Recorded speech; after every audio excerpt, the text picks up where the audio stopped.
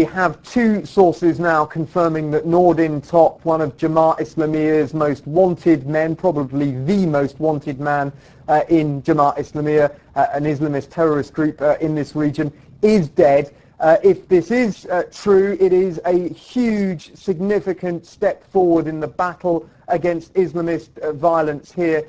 His death came after an 18-hour-long gun battle in central Java at a hideout uh, that the men, uh, Noordin Top plus three or four other men, were hiding out in. we've got some very dramatic picture of that raid. and let me just pause for a second while you can hear the volley of gunfire uh, that was uh, sent into that house.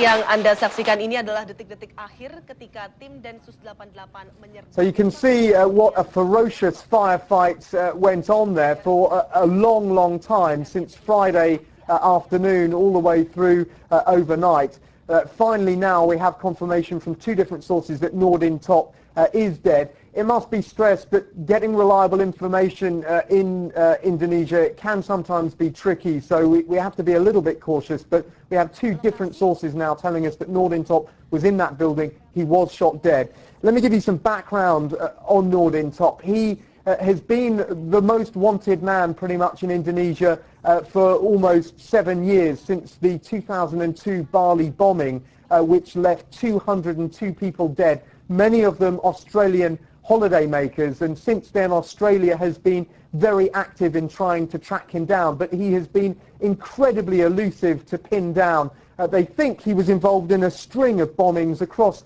Indonesia uh, in 2003 on the Marriott Hotel in Jakarta, a year later, his men attacked uh, the Australian embassy. Uh, the year after that, in 2005, they hit Bali again, leaving 20 people dead. Uh, and then, of course, just last month, they hit again the Marriott Hotel and the Ritz-Carlton. So uh, he has been involved with a string of devastating uh, attacks uh, in Indonesia, and this will be seen as a major victory in the battle against terrorism in Indonesia. Natalie? Right, and Dan, you, as you say, he has uh, he had succeeded for many years in uh, eluding police. What more do we know about him and how he rose to such prominence prominence in the ranks of that uh, um, uh, terrorist world that he existed in?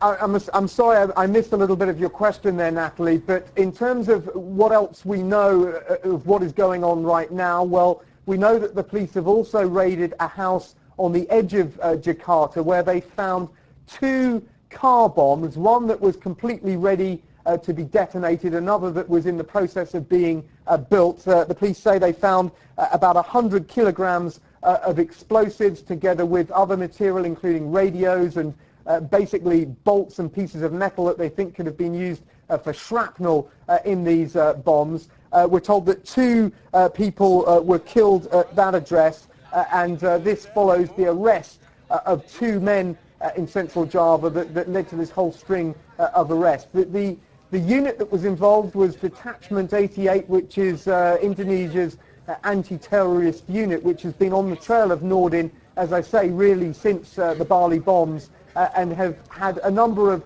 close calls trying to track him down, most notably in 2006 in uh, April in central Java again, where they came very close, they think, to catching him, but somehow uh, he slipped uh, through the net. Noordin himself is actually Malaysian, uh, and he came to Indonesia after 9-11 when the Malaysians started cracking down on extremists.